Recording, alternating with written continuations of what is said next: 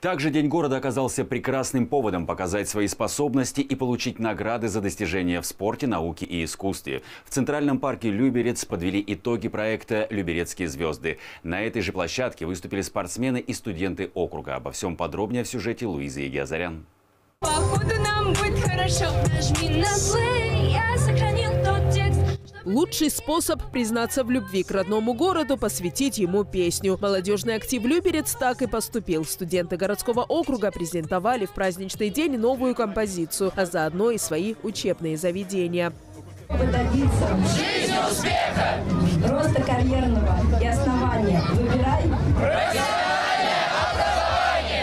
За молодежной площадкой следом идет спортивная. Это одно из самых популярных направлений в городском округе. По статистике, 45% жителей муниципалитета регулярно занимаются физической культурой. Чтобы эта цифра стала еще больше, представители спортивных школ и секций провели для потенциальных воспитанников мастер-классы.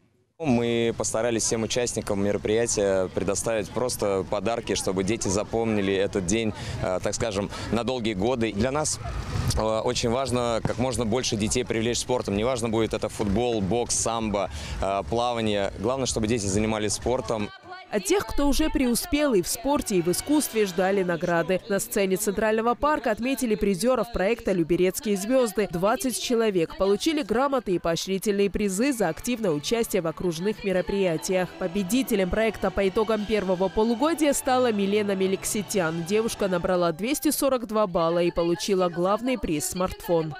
Я на самом деле очень творческая личность, э, то есть я люблю как и спорт, э, так и музыку. Я обычно вот принимаю участие и в олимпиадах школьных, и на фортепиано играю, и пою. Не нужно никогда стесняться, нужно идти к своей цели. Я считаю это правильно.